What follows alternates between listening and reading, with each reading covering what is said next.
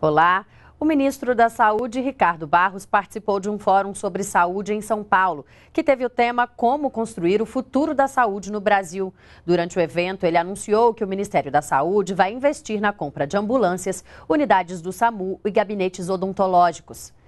Ricardo Barros afirmou também que as crianças afetadas pelo Zika vírus vão ter direito à fisioterapia e atendimento especializado na rede pública de saúde a nosso novo modelo de compras, que tem nos permitido economizar já 4 bilhões de reais para reaplicar tudo em mais serviços de saúde, e o engajamento né, da, dos nossos 4 milhões de colaboradores do SUS nesse novo modelo. A nova PENAB, Política Nacional de Atenção Básica, vai permitir muito, é, um muito grande aumento de resolutividade na ação de controle de doenças crônicas, diabetes, hipertensão.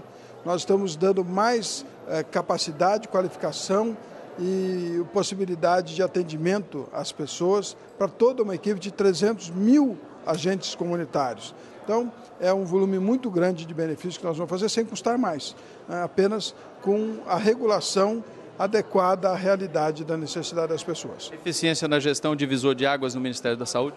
É o que nós escolhemos fazer, né? fazer gestão e isso tem dado muito bom resultado. Evidentemente, temos ainda muitos avanços a conseguir e faremos isso com diálogo, com pactuação na comissão tripartite, de modo que nós possamos ter a garantia de que o que nós estamos acordando de fato vai acontecer lá na ponta, nos municípios, na ação de cada prefeito. Uma das mudanças é a possibilidade de aquisição, é, a forma de adquirir ambulâncias brancas e ambulâncias também de transporte sanitário, é, que antes eram feitas com, com, com, emendas parlamentares, agora diretamente pelo Ministério. Como é que isso funciona e qual é o ganho para a população? Nós estabelecemos um programa de transporte sanitário que desde a Operação Sanguessuga não se fazia mais compra de ambulâncias, nós estamos comprando 6.500 ambulâncias brancas, 1.000 vans, 1.500 SAMUs, e 10 mil gabinetes odontológicos com raio-x para reequipar a nossa estrutura de saúde, dar mais conforto e, aos nossos usuários e mais qualidade de serviço para os funcionários. Agora tarde o senhor vai ao Recife fazer anúncios sobre o tratamento das pessoas que, das crianças que nasceram com Zika. O que, que o senhor pode adiantar para a gente desse, para a voz do Brasil, já que vai, a gente não vai estar por lá?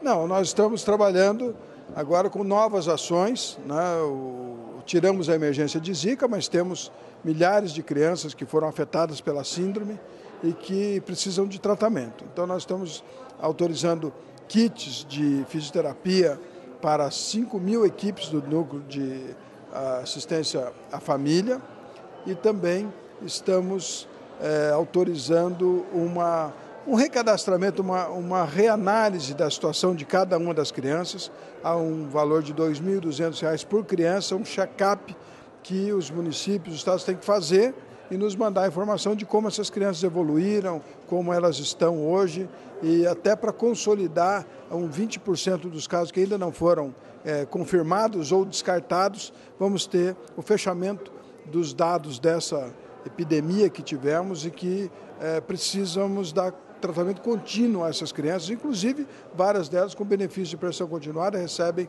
um salário mínimo por mês como ajuda para a sua família para cuidar dessas crianças. Isso mostra que a atenção às crianças que nasceram com Zika não foi só no momento do nascimento ou durante a gestação das mães. Né? É, nós vamos ter é, é, tratamento continuado para essas crianças e esses recursos anunciados hoje são justamente para que a gente possa ter uma avaliação mais completa da situação e possamos avançar.